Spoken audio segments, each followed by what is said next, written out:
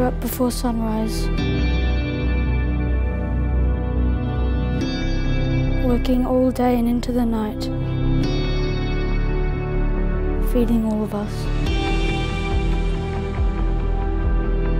They've battled fire, flood, and drought.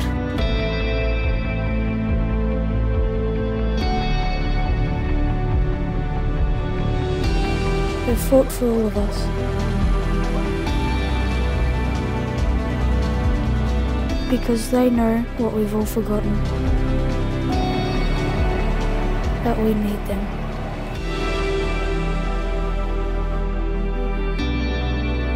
That we all need food on our tables and clothes on our backs.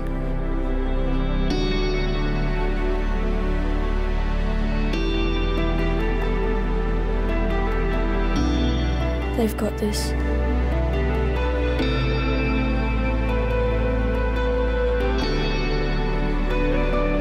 To them we say, thank you.